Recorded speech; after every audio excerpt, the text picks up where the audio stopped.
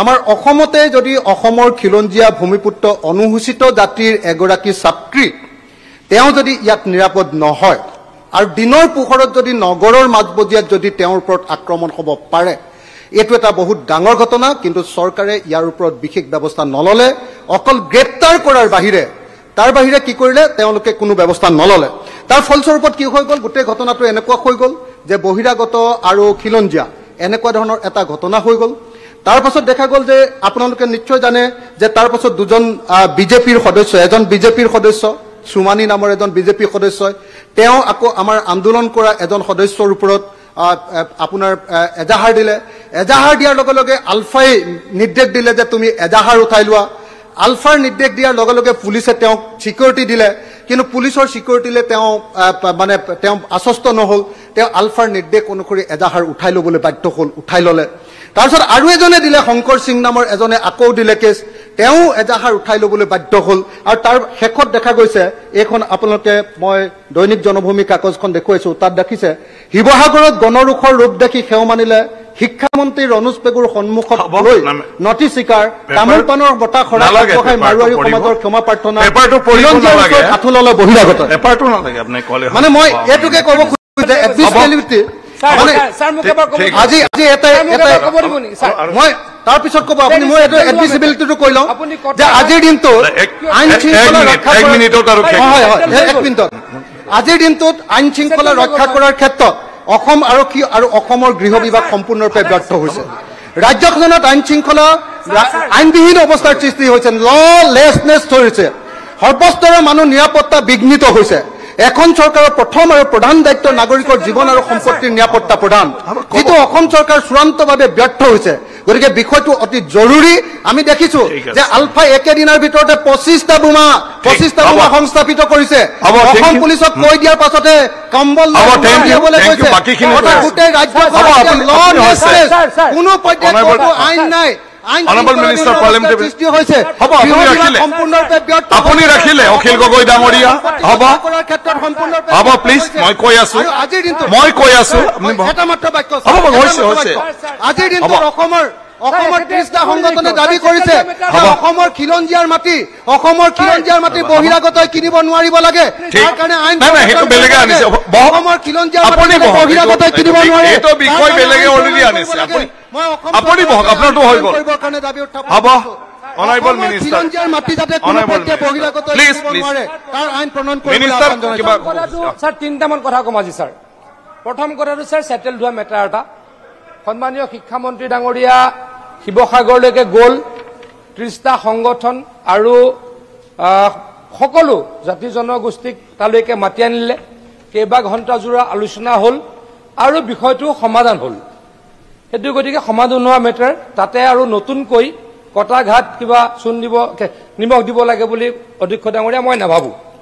দ্বিতীয় কথাটো অধ্যক্ষ ডাঙৰীয়া সন্মানীয় সদস্যগৰাকীয়ে আজি যে তালফাল লগাইছে তেখেতৰ সমষ্টিত হোৱা ঘটনা তেখেতৰ সমষ্টিত দুদিন আন্দোলন হ'ল তেখেত তালৈকে গৈছিল নেকি? গৈছিল নেকি তালৈকে? গৈছিল নেকি তালৈকে? আন্দোলনত আপুনি অংশগ্ৰহণ কৰিছিল নেকি? সমষ্টিয়ে নগ'ল। সমষ্টিত হুলস্থুল সমষ্টিত বন্ধ। তেওঁ গ'ল নেকি সমষ্টিত? সোধকচোন। ছাৰ সোধকচোন গ'ল নেকি? তেওঁ ক'ত আছিলে ছাৰ? ছাৰ তেখেত ক'ত আছিলে? টিভিৰ আগত। সমষ্টিত- মোৰ সমষ্টিত কিবা হ'লে মই দৌৰি যাম ছাৰ। মই দৃঢ়তাৰে কম প্ৰত্যেকজন সমষ্টিৰ বিধায়কে এনেকুৱা এটা যদি সমষ্টিত অচল অৱস্থা হয় দৌৰি যাব। তিনিদিন তেখেতৰ সমষ্টিত হ'ল তেখেত নগ'ল। তেওঁ টিভিৰ আগত। টিভিৰ আগত আৰু ফেচবুক লাইভ ফেচবুক লাইভ আৰু টিভিৰ আগত। মুঠতে মুঠতে অনুসূচিত জাতিৰ এগৰাকী ছাত্ৰী। আপোনালোকৰ দিনত নিৰাপদ নহয়। হয়নে নহয়? অসমৰ মুখ্যমন্ত্ৰী হ'ব। বাইশ গৰাকী ছোৱালী হৈছে। ক'বলৈ দিয়ক।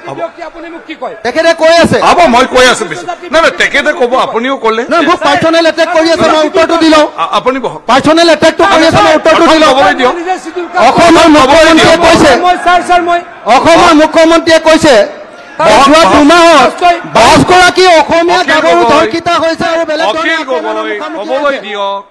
আইন শৃংখলা সম্পূৰ্ণৰূপে ব্যৰ্থ হৈছে। অখিল গগৈ আপ- আপুনি আপোনাৰ কথা ক'লে। আপুনি আপোনাৰ কথা ক'লে। নাই নাই আপোনাৰ কথা ৰাখিলে আপুনি বহকচোন আপুনি বহকচোন গৃহমন্ত্ৰীয়ে ছাৰ পদত্যাগ কৰিব প্লিজ আপুনি? বহক। গৃহমন্ত্ৰীয়ে পদত্যাগ কৰিব আপুনি লাগেনে বহক নাই? তেওঁ ৰেছপণ্ড দি আছে গৃহমন্ত্ৰীয়ে আপোনাৰ পদত্যাগ কথাটো। কৰিব লাগে ছাৰ। মই পিছত কৈ আছো আপুনি বহক। পদত্যাগ কৰিব লাগে নে নাই, আপুনি ছাৰ? বহক। ছাৰ বোমা ওলাইছে পঁচিছটা বোমা ওলাইছে বাইশ গৰাকী ছোৱালী ধৰ্ষিত হৈছে বুলি।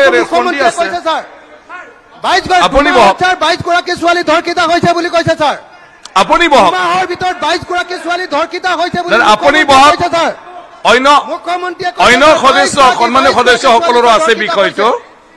হৈছে। আপুনি বহক আপুনি অসমত বহক ছাৰ বাইশ গৰাকী ছোৱালী ধৰ্ষিত হৈছে আপোনাৰ কথাটো। বুজি পালো আপুনি বাইশ ছোৱালী ছাৰ আপুনি বহকচোন এতিয়া। অসমত ধৰ্ষিত হৈছে বুলি। আপুনি বহকচোন। কৈছে ছাৰ।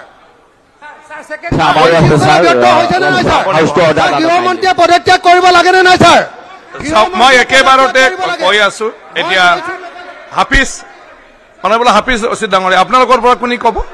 আমিদুল ইছলাম ডাঙৰীয়া। এক মিনিট। ছাৰ ছাৰ এই মুহূৰ্তলৈকে এসপ্তাহ হ'ল। আমিনুল ছোৱালী ছয় ছাৰ খবৰ ল'লে নেকি ছাৰ? খবৰ নালাগে ছাৰ? বাইশ গৰাকী মহিলা বাইশ গৰাকী মহিলা ছাৰ। তেখেতে কৈছে মুখ্যমন্ত্ৰীয়ে কৈছে। ছাৰ বাইশ গৰাকী মহিলা ধৰ্ষিত হৈছে দুমাহৰ ভিতৰত বুলি মুখ্যমন্ত্ৰীয়ে কৈছে ছাৰ।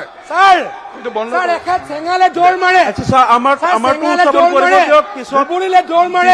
নিজৰ সমষ্টিৰ ছোৱালী আমাৰতো উত্থাপন কৰিব দিয়ক।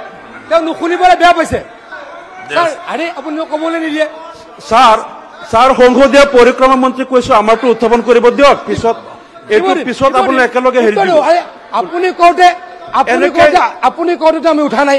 এনে- এনেকে তেওঁ ব্যক্তিগতভাৱে তৰ্ক বিতৰ্ক কৰাতকৈ তেওঁ যে আজি গ'ল খাই আছে সেইকাৰণে house the house is not in order the house is not in order sir